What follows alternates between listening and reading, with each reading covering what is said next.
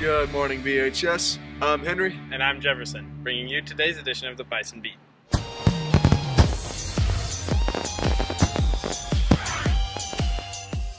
Kiara Vestine and Andrew Stewart have birthdays today. Happy birthday.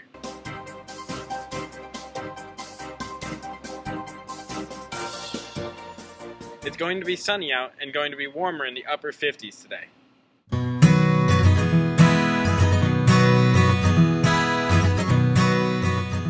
For our lunch today, we've got a chicken quesadilla, chips, cheese, salsa, Mexican rice, fruit, and some milk.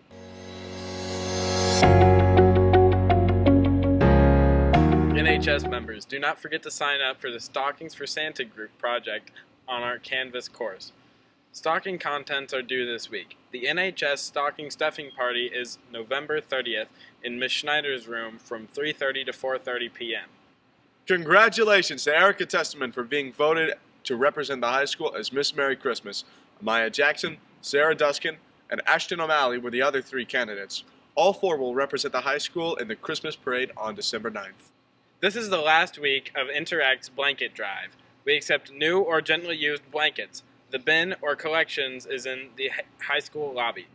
The BHS Theater Department will be performing a production of Incognito on Friday and Saturday at 7 p.m. in the Shoemaker Auditorium.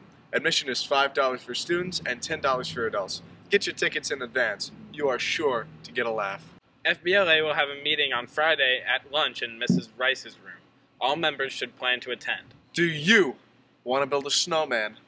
Well then, the library is holding a Disguise a Snowman contest. You'll pick a character cut out from the library, decorate that snowman into a book character, be creative.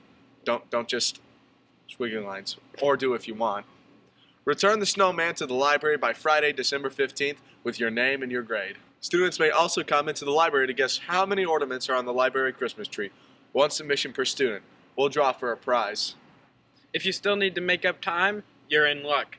There will be more Saturday school offered Saturday from 8 until noon. You can sign up in the office to attend. And for our quote of the day, by the power of Grayskull, I have the power. He-Man. You're required to love yourself. And have a wonderful Wednesday, BHS. Yay!